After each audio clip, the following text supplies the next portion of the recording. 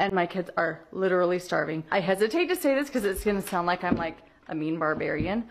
This morning, a Utah mom influencer arrested, facing six felony counts of aggravated child abuse. For the first time, we're hearing emergency responders as they see one of Ruby Franke's children after he allegedly escaped through a window. Female does have duct tape around each ankle. He's not telling ERP why.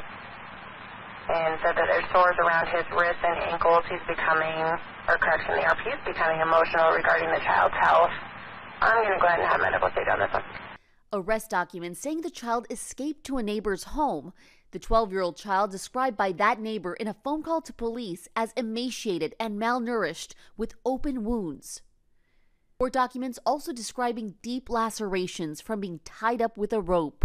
He's also saying that there's two of his sisters are back at the home as well.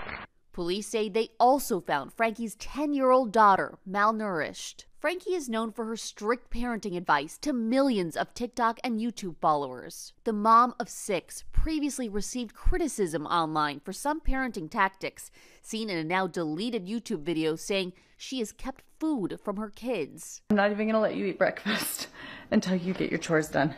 Experts say Franke's videos, even the deleted ones, could be used against her in court. If you're the prosecutor and the, the detectives, you may really be happy you have that because it could well corroborate some of these charges that the government is alleging.